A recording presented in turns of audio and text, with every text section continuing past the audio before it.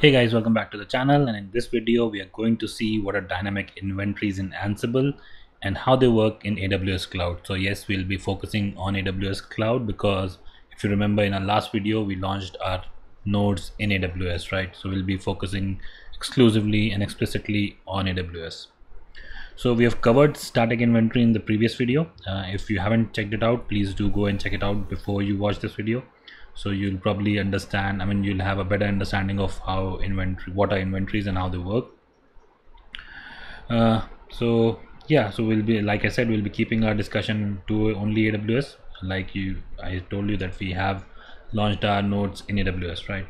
So dynamic inventories. Let's so suppose you have uh, i mean a big enough infrastructure in cloud where you bring in and bring down servers say on day-to-day basis. Like you bring down 10 servers you bring up five servers right? So maintaining static inventory in that case is actually impossible because you can't be putting in ips or host names manually in the static uh, inventory file so if you remember static inventory file actually works on either ips or host names right? So this is where the dynamic inventories come in.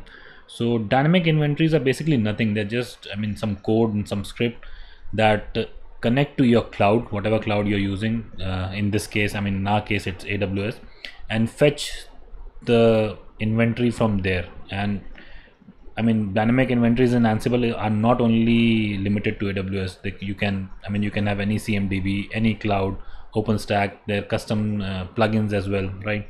So there are two ways actually to implement dynamic inventories in Ansible. It's either via plugin or via script. So here in this video, in this example, I'm going to use script, but let's just go to Ansible website, Ansible documentation website and have a look at plugin, right? So right now I'm in my AWS console. Let's go to Ansible website. So you can see I'm in the Ansible website working with dynamic inventory.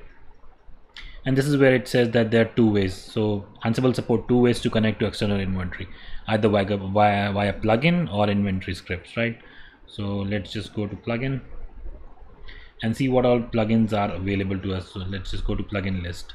So you can see that aws ec2 is available aws rds uh, you have a plugin for azure and i mean there are just bunch of plugins for vmware virtualbox whatever you need right? So you can just I mean I won't be going I mean over them but just look at what what's there in AWS EC2 so I mean I would actually request you to just go over plugins. If you want to use plugin instead of script right?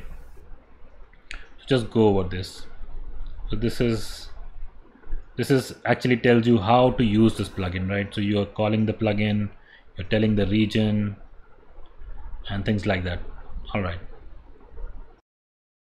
So to use dynamic inventory there are actually a couple of uh, prerequisites. I mean first you need to have a connection to your cloud.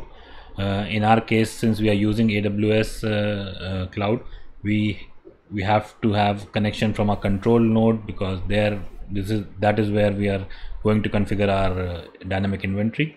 So the control node should be able to make api calls to our aws cloud and that is possible. I mean either you can use aws cli to configure that.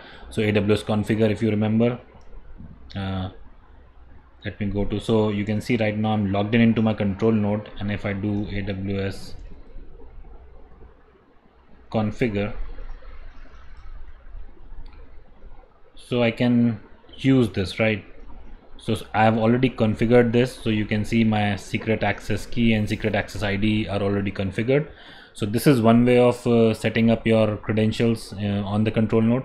Uh, another way you can see in the ansible website itself uh, there's another way to do it like exporting the uh, I mean exporting the variables. So you can directly export let's go back yeah and let's go down to AWS example. And yes so you can export these couple of uh, variables and you'll be set. So i have used aws cli uh, you can use whatever way you feel like i mean it's best for you right? All right so now let's start uh, creating a dynamic inventory. So dynamic inventory like i said will be dealing with the script. And all these scripts and plugin are actually pr provided to you by uh, ansible itself. So i mean you can write your custom plugin you can create your custom script as long as it is outputting things in the format which in which ansible wants right? So i mean but it's always good to have some head start which ansible provides. So we'll be using the ansible provided script right? So let's just go to the ansible documentation and you would see that it says ec2 external inventory script. So let's just click on this it's a python script basically and it uses boto. So another prerequisite like i said there are a couple of prerequisite. So the first one was to have access to your cloud uh, via credentials via secret access key id whatever cloud you're using whatever cmdb you are using you must have access to it. And the second is that you must have boto installed. So let's just copy this and go back to our server and we are going to create a file over here called ec2.py and we are going to paste this content in here right? Save this. And let's make it executable otherwise it will not work. That's x ec2.py and to see that if you're I mean if this script will work when using with when when when used with Ansible uh, so what you can do is basically ec2.py hyphen hyphen list so if this script is working and if we are able to connect to our AWS cloud it would actually list out the EC2 instances which we have running. Just wait for a minute and it should be coming or it should be displaying some error if it's not able to connect something like that. So something would happen. So just wait. So yeah. So we got the list of our hosts right? Let's just go up up up up up and here. So it's listing the public IPs of our hosts right? And some metadata related to those right? So there's I mean it's working. In short it's working that we are we are getting the data from our cloud. That means we have connected to our cloud and uh, our script is working. Now to use the script with ansible. It's actually very easy. Uh, it, you just need to do ansible uh, hyphen i like we used to do when we used to provide a custom inventory file right? So in this case we'll give it ec2.py which is our uh, script then what we are going to say is where we need to run it. So I want to run it on all the hosts right? And I'm going to use the module ping right? So if I haven't done anything wrong it should work. Let's just wait for a minute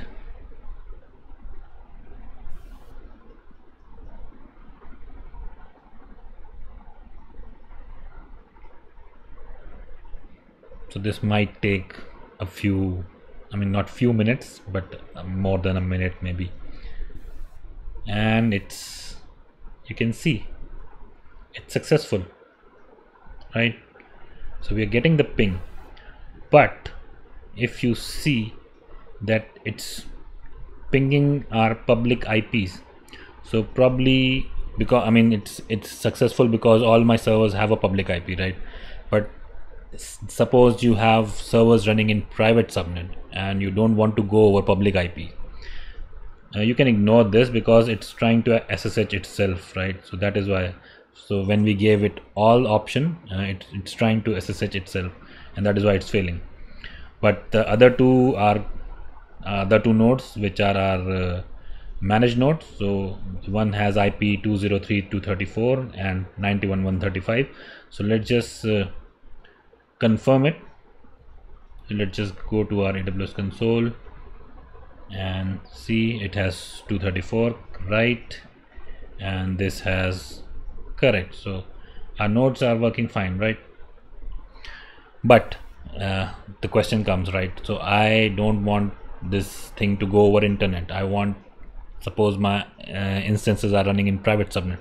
Then what so Ansible actually takes care of that as well. So let me just clear the screen. And now let's go to the Ansible documentation website again.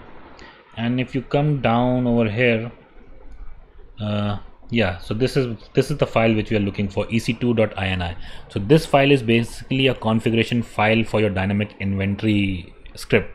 So the ec2.py which we copied uh, this file is actually used to configure that script. So let's just click it. Let's copy all the content in here and go to our uh, server. Let's do an ls. And what I'm going to do is I'm going to create an ec2 ec2.ini file over here right? And just paste all this content in this file let's go at the top of the file. And there are a couple of things which we need to configure in this file. So this is a very vast configuration file. You can see you can configure if you suppose if you're not operating out of all region just the couple of just the couple of regions which you're using. You can set that regions over here. And the, these are the settings which we actually want to configure. So destination variable. So right now you can see it is set to public DNS name but we don't want uh, to use public DNS name. We want to use the private DNS name right? So what I'm going to do is I'm going to copy this paste oh sorry. Let's just undo this.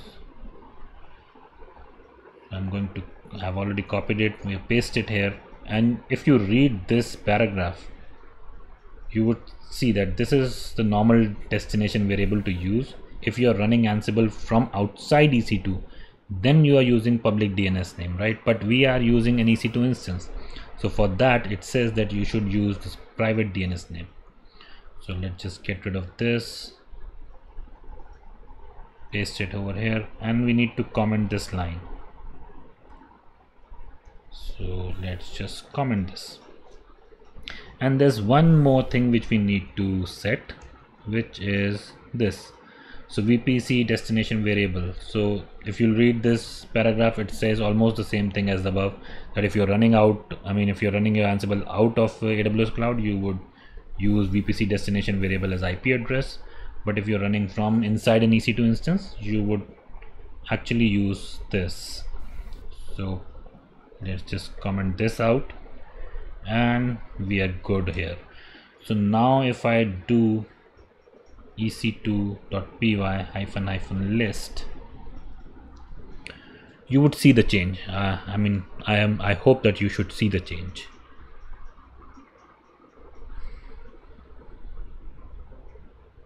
So we again have to wait for a minute. Because it's going to our AWS cloud fetching all the metadata on all the resources. And I hope you noticed the change. Did you see that these IPs are now private IPs so if we go above and see the earlier result you can see that these were public IPs of our host. But now the IPs have changed. They are private IP right? And now if I run the same Ansible command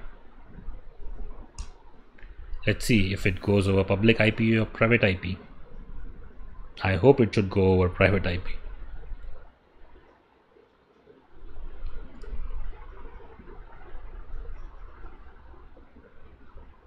Alright, so we again have to wait. So this is actually a little slow, uh, I would say. Alright, so the first one failed because it was trying to SSH itself. Uh, that is acceptable but if you see now that it's going over private IP so it's SSHing over private IP and then trying to do a ping and this is what we wanted right uh, this ec2.ini file is actually um, a big configuration file. If you just go through that content of the file you can see there are different services which you can configure. And you can even configure this behavior right? Things like that it should not uh, right now we are saying that ansible all. So that is why it's trying to connect to all uh, instances. But there are ways where you can uh, basically SSH uh, on the basis of the tags right? On the basic basis of so that it not it does not connect it does not try to connect itself but, but rather only connects to the manage node. So all those configuration are going into the ec2.ini file. So i would just request you to just go through that file. It's pretty comprehensive. I mean if we start taking look into that particular file it would take another half an hour to just discuss about that file. So you saw that ansible actually provides you all the stuff. You actually don't have to do much. I mean unless you have a very specific use case you would not require to modify either the script file or the ini file. Uh, uh, yeah so this is it for the dynamic uh, inventory file video guys. I hope you like the video. I mean we've seen the static uh, inventory we've seen the dynamic inventory we've seen the variables and we have actually touch base with uh, the playbook as well. We wrote a very basic playbook so now we'll go deeper into ansible see i mean try to write more complex playbook and see how you can use variables from different locations right? So that is all coming up in the next few videos right? So please do subscribe to the channel before leaving and thank you for watching